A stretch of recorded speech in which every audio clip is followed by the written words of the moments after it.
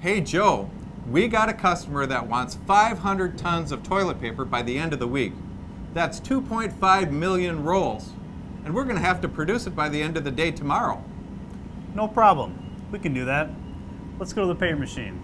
Well, that's not going to fit on a toilet paper roll, but it's a start. Here we are in converting, where we cut it, wind it, emboss it, and package it. Yep, that's lots better. So I assume you want to make this as inexpensively as possible, right? Of course. So let's talk about production. We have three paper machines that make toilet paper. We can only use each one once since we have to make it very quickly, basically in one day. Machine A has the capacity to make up to 200 tons per day at a cost of $750 per ton. Machine B has the capacity to make up to 200 tons per day at a cost of $800 per ton.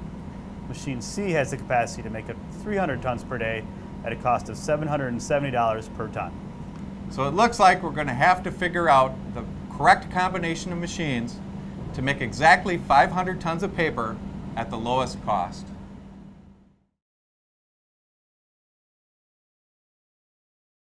So, after trying different combinations, it looks like we should use machine A and machine C at their maximum capacities.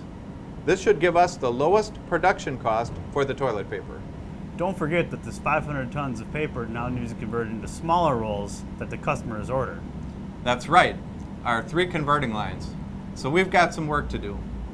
We've got to figure out the combination of converting lines that will give us exactly 500 tons of paper at the lowest cost of production.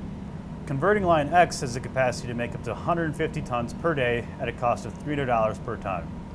Converting line Y has the capacity to make up to 250 tons per day at a cost of $250 per ton. Converting line Z has the capacity to make up to 300 tons per day at a cost of $400 per ton.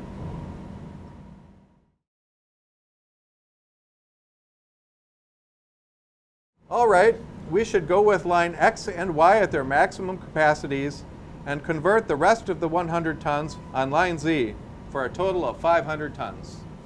So what would be the total cost of production, including paper machines and converting, for the 500 tons of toilet paper?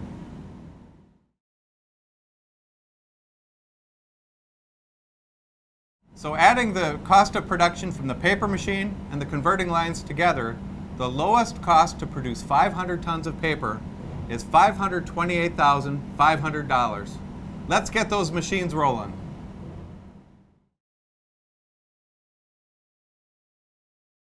Let's get a little more challenging now and talk about fixed production costs and variable production costs, like labor, energy, and equipment. Using the new information shown here, how could we again minimize the total cost of production for 500 tons of toilet paper?